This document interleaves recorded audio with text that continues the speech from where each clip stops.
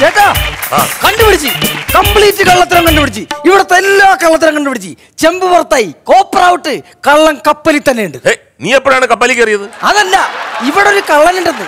അല്ല അത് നീയല്ലേ? ഞാനല്ല എന്നെക്കാട്ടിയും വലിയ പെരുങ്കള്ളൻ ഇവിടെ ഉണ്ട് മുകേഷ് ഏട്ടനെ കിടിലം കൊള്ളിക്കുന്ന ഒരു അപൂർവ രഹസ്യമായിട്ടാണ് എന്റെ പോക്കിൽ അമ്മാനമാടിയിട്ടാണ് ഞാൻ വന്നിരിക്കുന്നത്. എന്താടാ? ഏ? ചേട്ടാ പിഷാരടി മാര്യം ആര്യം ഭാര്യ ഭർത്തക്കന്മാരല്ല. എന്താ ആരും ഞെട്ടാത്ത് എന്തിനാ ഞെട്ടുന്നത്? അല്ലാതെ തന്നെ അല്ലേ ഇവിടെ ഇവിടെ ജീവിക്കുന്നത്. ഇവരെ കണ്ടു കഴിഞ്ഞാൽ ആരെങ്കിലും ഭാര്യയും ഭർത്താവെന്ന് പറയൂ. എപ്പോഴും മഴക്കല്ലയോ ഡാ ഡാ ഡാ എന്ത് തോന്നിയ ദിവസമാണ് വിളിച്ചു പറയുന്നത്? ഏ? ആയിരിക്കണത് പിഷാരടി അല്ല.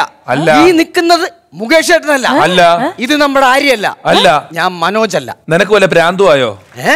എനിക്ക് പ്രാന്തില്ലെന്ന് എന്നെ ബോധ്യപ്പെടുത്താനും നിങ്ങളെയൊക്കെ ബോധ്യപ്പെടുത്താൻ വേണ്ടിയാണ് ഇത്രയും കാര്യങ്ങൾ പറഞ്ഞത്. ചേട്ടാ പിഷാരടിയുടെ ഭാര്യയാണ് ആര്യയെങ്കിൽ ആര്യയുടെ കഴുത്തിലെ താലി എവിടെ? താലി എവിടെ? അത് അവൻ എന്നേ പണയം വെച്ച് അല്ലെ വിറ്റ് കാണും. അല്ല അങ്ങനെയാണെങ്കിൽ സിന്ദൂരക്കുറി ഉണ്ടാവുമല്ലോ. സിന്ദൂർ എവിടെ? അവൾ മുഖം കഴുകുമ്പോ പോകുന്നതല്ലേ?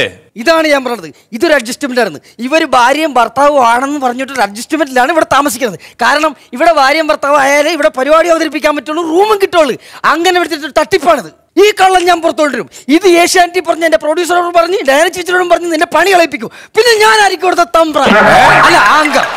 നീ ഇങ്ങനെ പറയാ നിങ്ങൾ. തെളിവുണ്ടോ നിന്നെ അടുത്ത്? തെളിവുണ്ട്. ഇത് കണ്ടോ? ഇത് ഞാൻ ഇന്നലെ രാത്രി ഇവർ രണ്ടുപേരും കിടക്കുമ്പോ ഇവരുടെ ബെഡ്റൂമിൽ നിന്നെടുത്ത ഫോട്ടോയാണത്. ഒരു ഹസ്ബൻഡ് ആൻഡ് വൈഫ് പ്രൈവറ്റ് ആയിരിക്കുമ്പോ നീ ഫോട്ടോ എടുക്കണ?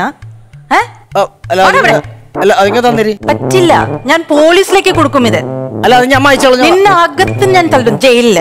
ഞാൻ തന്നെ നിനക്ക് ലോയർ ആയിട്ട് ഞാൻ പ്രോസിക്യൂട്ട് ചെയ്യും. ചേട്ടാ അതൊന്നും തരാൻ പറയട്ടാ. വാദിക്കണം ചേച്ചി വാദിക്കണം. ഇതുപോലുള്ള മറ്റുള്ളവന്റെ റൂമിൽ ഒളിക്യാമറ വെക്കുന്നവനെ നമുക്ക് നിയമത്തിന്റെ മുന്നിൽ കൊണ്ടിരുന്ന് തൂക്കിക്കൊല്ലാൻ വിധിക്കണം. അതെ അത് ശരിയാ.